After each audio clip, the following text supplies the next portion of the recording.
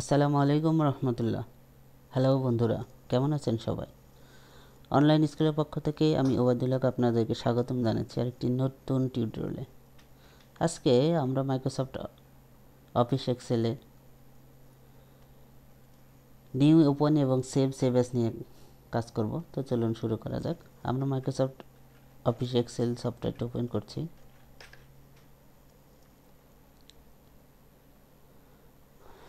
তো এক্সেল যখন আমরা শুরু করি, তখন এরকম একটা ব্ল্যাঙ্ক শিট আমাদের ওপেন হয়, এরকম শিট ওপেন হবে। এটা আমরা এর আগে দেখেছি। তো আমরা যদি কোনো নতুন শিট নিতে চাই, যেহেতু আমরা এখান থেকে নর্মালি যখন আমরা এক্সেল শিটটা ওপেন করছি, তখনই কিন্তু একটা শিট ওপেন হয়ে যাচ্ছে। দেখুন, এখন যদি আমরা চাই যে আমরা আরেকটি কোনো নতুন এক্সেল ওয়ার্কশিট নিব। সেক্ষেত্রে আমরা যেটা করব, সেটা হলো এখান থেকে অফিস বাটনে ক্লিক করব। এরপর দেখুন এখানে নিউ আছে। নিউতে ক্লিক করলে আমাদের এখানে নতুন আরেকটি ওয়ার্কবুকের জন্য ডায়ালগ বক্স দিবে। তো আমরা এখানে ব্ল্যাঙ্ক ওয়ার্কবুকে ডাবল ক্লিক করলেও হবে, অথবা এখানে সিঙ্গেল ক্লিক করার পরে এখানে ক্লিক করলেও নতুন আরেকটি ওয়ার্কবুক তৈরি হবে। তো এখানে নতুন আরেকটি ওয়ার্কবুক তৈরি হলো এটা আপনি বুঝবেন কীভাবে? লক্ষ্য রাখুন, এইখানে দেখুন বুক টু এরপরে হাইপেন দিয়ে মাইক্রোসফট এক্সেল লেখা আছে। তো এইখানে যখন আমরা এক্সেলকে দেখতে যাব, দেখুন লক্ষ্য করুন, এখানে বুক ওয়ান এবং এখানে বুক টু এভাবে যদি আমরা আরেকটি নতুন এক্সেল আউটবুক নিতে চাই, তো দেখুন নিউ এখান থেকে আমরা ক্রিয়েট করছি, দেখুন বুক থ্রি ঠিক আছে? তো এইভাবে আমরা নতুন এক্সেল ওয়ার্কবুক নিতে পারি, অথবা এখান থেকে আমরা যখন এখানে এক্সে আমাদের যে ডিরেক্টরি থাকবে আমাদের ফোল্ডার যেখানে আমরা প্রয়োজনীয় কাজকর্মগুলো করব। দেখুন, আমি যদি এইখানে কোনো এক্সেল ওয়ার্কবুক নিতে চাই, সেক্ষেত্রে আমি এখান থেকেও, এখানে নিউ আছে। দেখুন, আপনি মাইক্রোসফট অফিস ইনস্টল দেওয়ার পর এখানে দেখতে পাবেন মাইক্রোসফট অফিস এক্সেল ওয়ার্কশিট ঠিক আছে? তো আপনি এখানে যে কোনো নাম দিয়ে দিতে পারেন। এখানে টেস্টিং এক্সেল নামে সেভ দিতে পারেন। এইটা সেভ হয়ে গেলে এখন আমরা এটাকে ওপেন করতে পারব এখান থেকেই। এটা একভাবে আমরা এক্সেল বুক তৈরি করতে পারছি। আর পরে আমরা যখন এক্সেল দেখুন আমরা এক্সেলকে ওপেন করছি।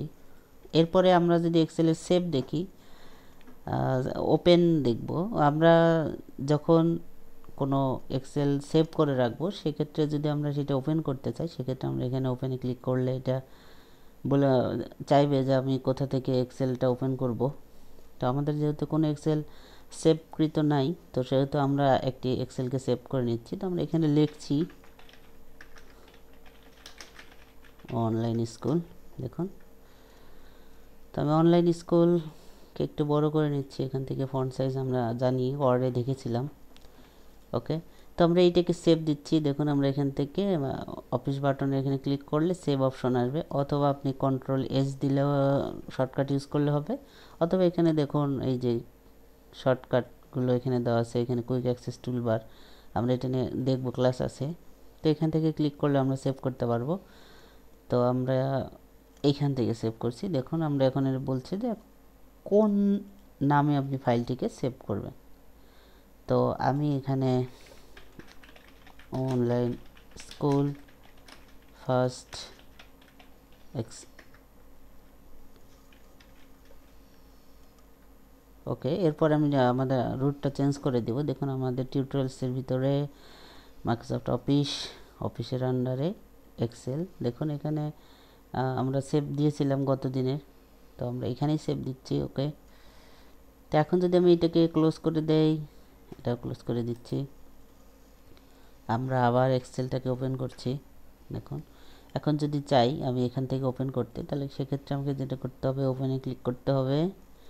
ওপেনে ক্লিক করার পরে আমার সোর্সটা দেখিয়ে দিতে হবে যে আমি কোথা থেকে এক্সেলটা ওপেন করব। দেখুন অনলাইন স্কুল ফার্স্ট এক্সেল তো এই যে দেখুন, আমাদের এখানে ওপেন হয়ে গেছে অনলাইন স্কুল তো এইভাবে আমরা ওপেন করতে পারব।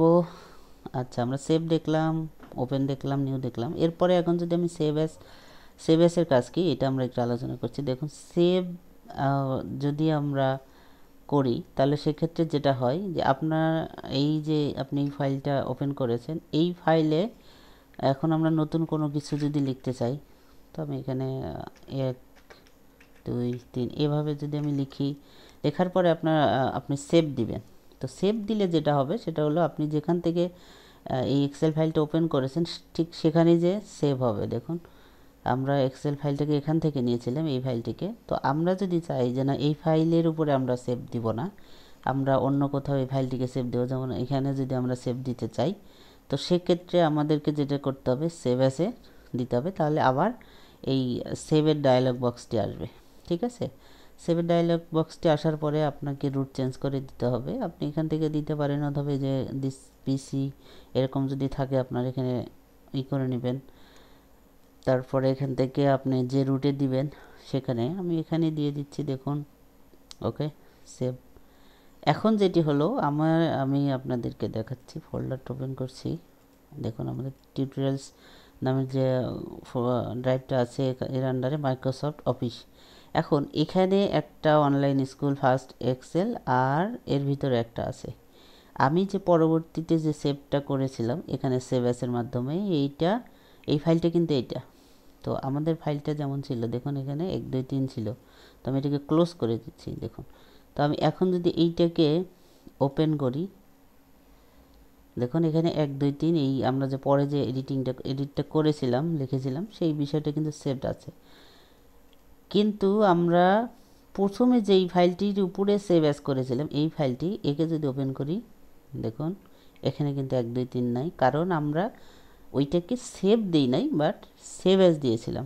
এখানে যদি আবার আপনি নতুন করে কোনো কিছু লেখেন, আবার লেখেন আবার লেখেন, কোনো সমস্যা নেই। এরপরে যদি আপনি সেভ দেন, তখনই শুধুমাত্র এই ফোল্ডারের এখানে এইখানে সেভ হবে। অন্যথায় কী হবে? যদি সেভ অ্যাজ দেন, তখন আপনাকে আবার জিজ্ঞেস করবে, আপনি কোথায় সেভ দিবেন?